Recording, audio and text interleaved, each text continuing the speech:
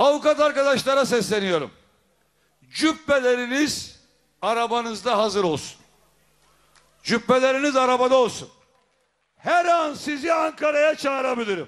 Meydanlarda esip gürledi, kaybetme korkusuna girmesi uzun sürmedi. CHP'nin Cumhurbaşkanı adayı Muharrem İnce, Kırklareli'ndeki mitingde 24 Haziran'da hile iması yaptı, avukatlara seslendi, YSK'yı tehdit etti.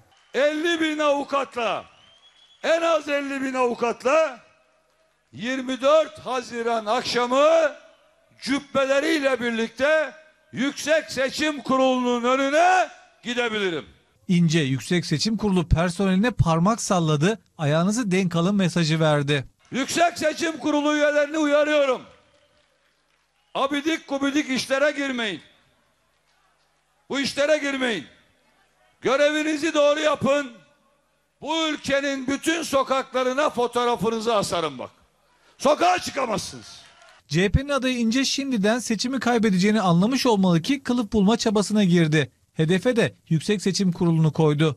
Oysa seçimlerin şeffaf ve adil bir şekilde yapıldığının en açık kanıtı 7 Haziran'dı. Millet ne dediyse sandığa da o yazıldı. Tıpkı 1 Kasım seçimi ya da 16 Nisan referandumunda olduğu gibi. Yüksek Seçim Kurulu üyelerini uyarıyorum. Abidik gubidik işlere girmeyin. Bu işlere girmeyin.